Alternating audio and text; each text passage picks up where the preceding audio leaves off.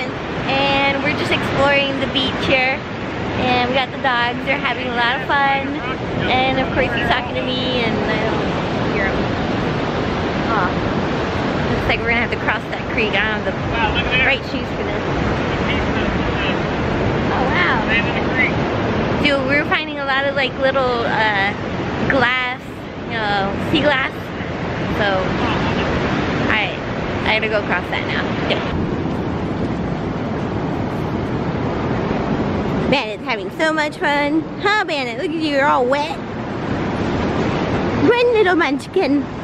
Layla's loving it. The ball in her mouth. Oh my god. The life.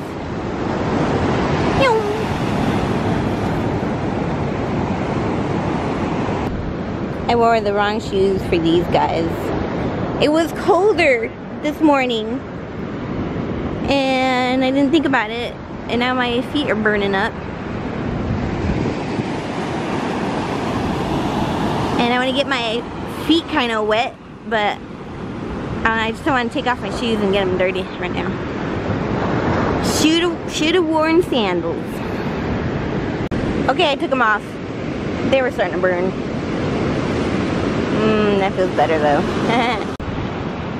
you guys, we were in Arizona, Nevada not too long ago and it was beautiful. We enjoyed it. We went to all the national parks that we could.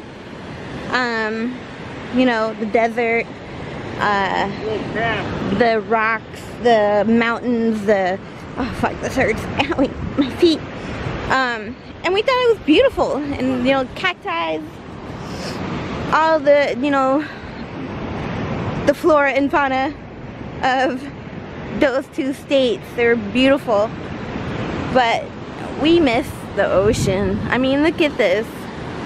We miss the the sound of it, the smell of it, the beauty of it, the way, you know, it mists up and, you, you know, you can smell it a mile away, you know. That's, that's the shit. This is what we miss. We're so happy to be on the coast. So happy to smell it and listen to it.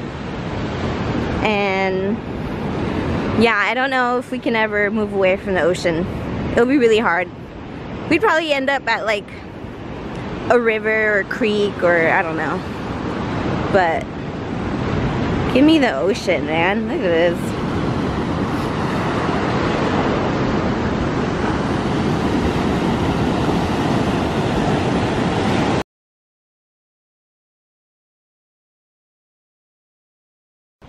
It's uh, cemetery tourism time. This is one of my favorite things to do.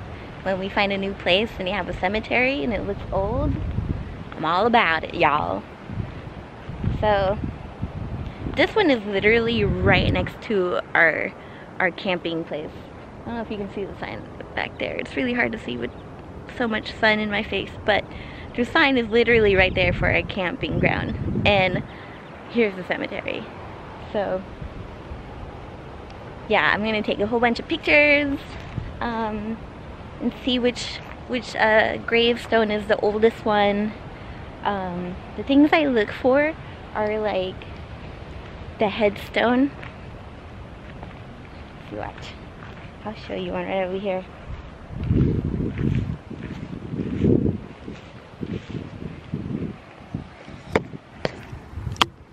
Alright, check that out.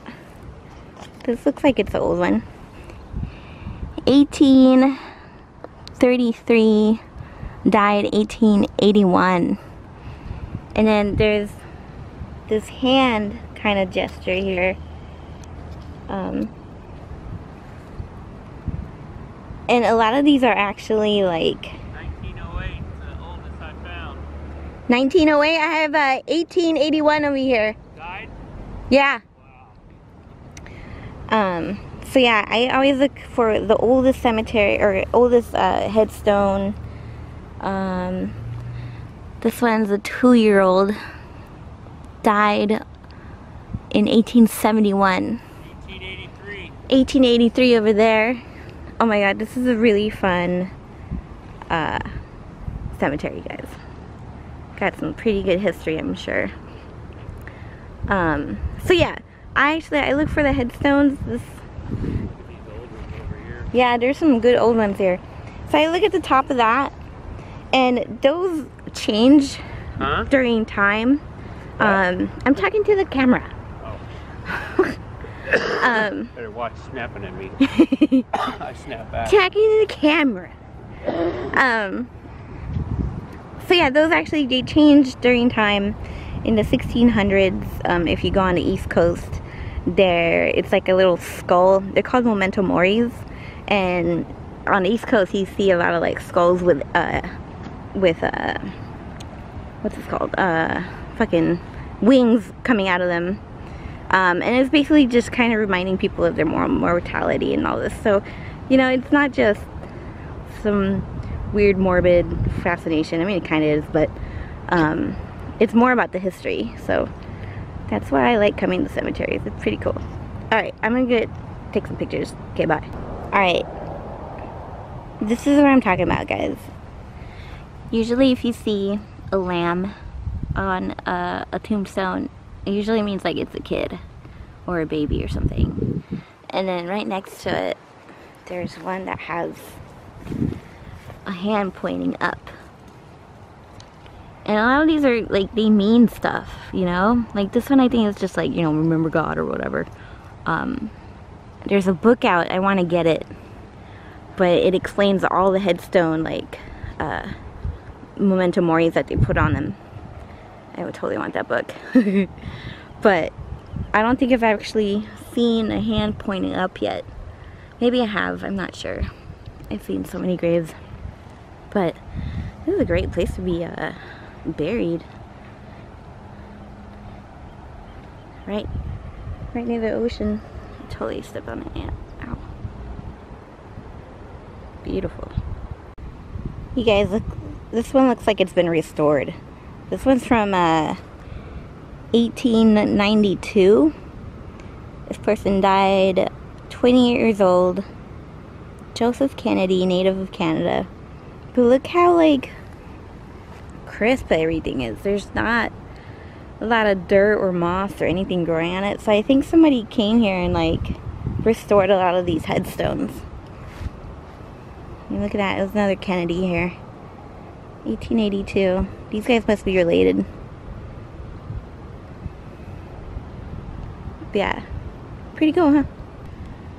You know, I always get a little sad when I see tiny ass markers like that. You don't even know who it is, what what they were, who they were, how old they were.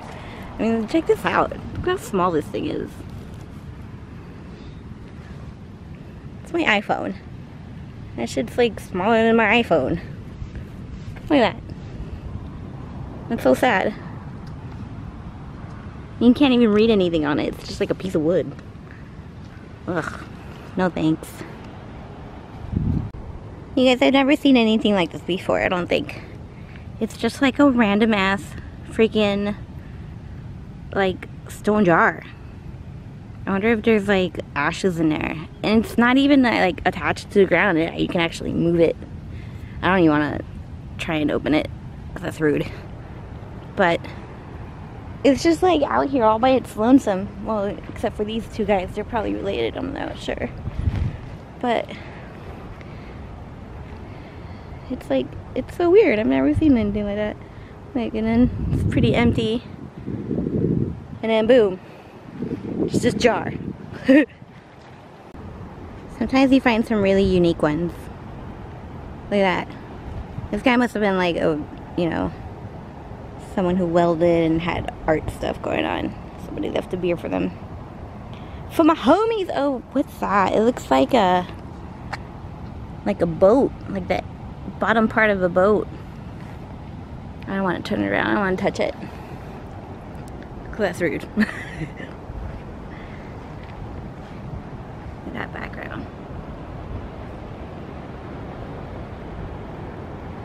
I love cemetery touring. I really do.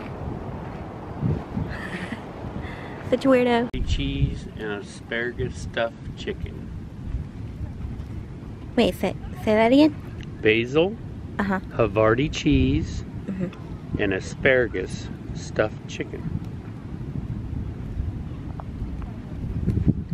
Man, that sounds hell yeah, look at that.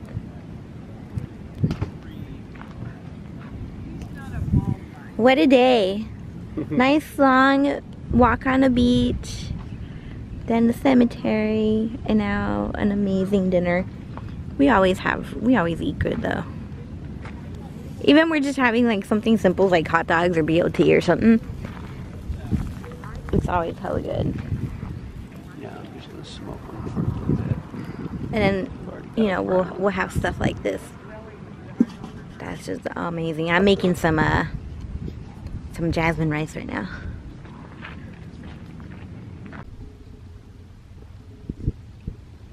made some jasmine rice it smells hella good and i kind of like it a little bit burnt so it well toasted i don't know about you guys but i think that's like the best part is when you kind of toast it that one's a little bit burnt but there's some parts like right here it's like a little bit of the, like a toasted rice.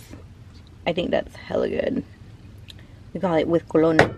Concolón. I'm not sure if that's just Panamanian or Venezuelan or whatever.